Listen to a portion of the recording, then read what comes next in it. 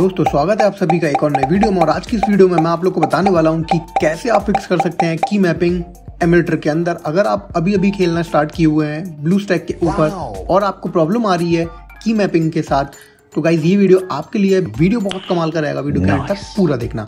और without wasting any time let get started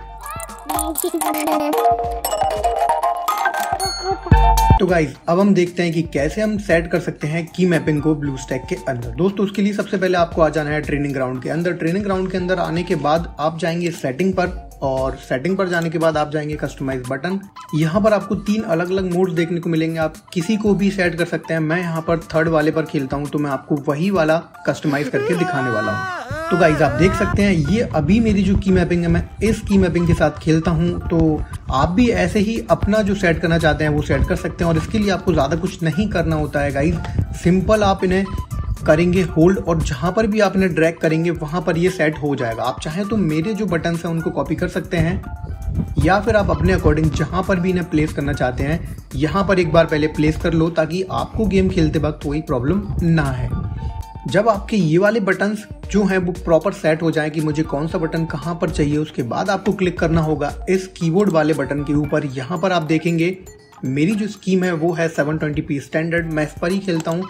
यहाँ पर काफ़ी सारे और डिफरेंट डिफरेंट मोड्स भी हैं, जैसे कि 1080p 2K और स्मार्ट बट मुझे इन सभी के साथ कुछ ना कुछ प्रॉब्लम हो रही थी, इस वजह से मैं खेलता हूँ 720p स्टैंडर्ड पर।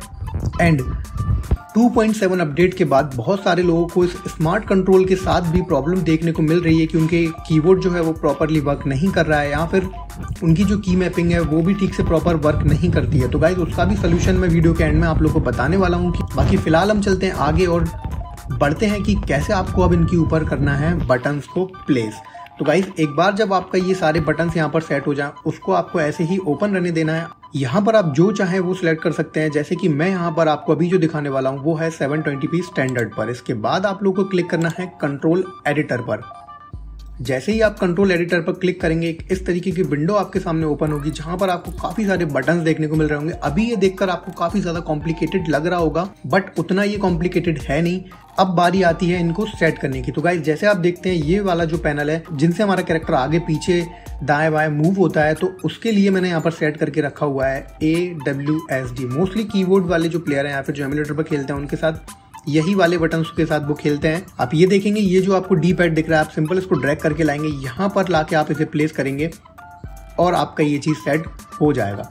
बात करता हूँ मैं रिवाइव वगैरह करने की। तो गाइज़ जैसे कि मेरा रिवाइव का बटन यहाँ पर लगा हुआ है, क्योंकि मुझे रिवाइव करने में आसानी रहती है ऐप के साथ। यहाँ पे जो ड्राइविंग वगैरह है, वो भी मैं करता हूँ ऐप के साथ। तो ड्राइविंग का मेरा ये रहा रिवाइव का ये रहा।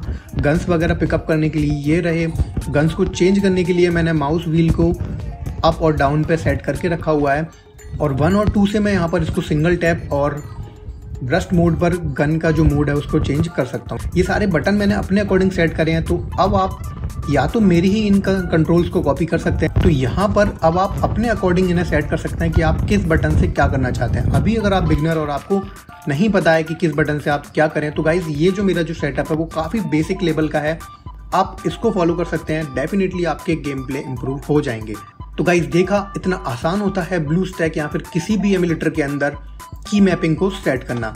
अब बात करते हैं उन लोगों के लिए जो मेरे भाई स्मार्ट कंट्रोल के साथ खेलते हैं और उन्हें प्रॉब्लम आती है कि उनका जो कीबोर्ड है वो प्रॉपरली वर्क नहीं करता है। तो उसकी एक सिंपल सी ट्रिक मैं आप लोगों को बताता हूँ तो ट्रिक ये है कि आपको यहाँ पर अपने जो कंट्रोल है उसको छोड़ के बाकी जो तीन है, इनमें से किसी को भी सिलेक्ट करना है सेव करना है और सेव करने के बाद दोबारा से आपको अपना जो आप खेलना चाहते हैं, जैसे स्मार्ट है तो आप स्मार्ट पर क्लिक करके एक बार सेव कर लीजिएगा।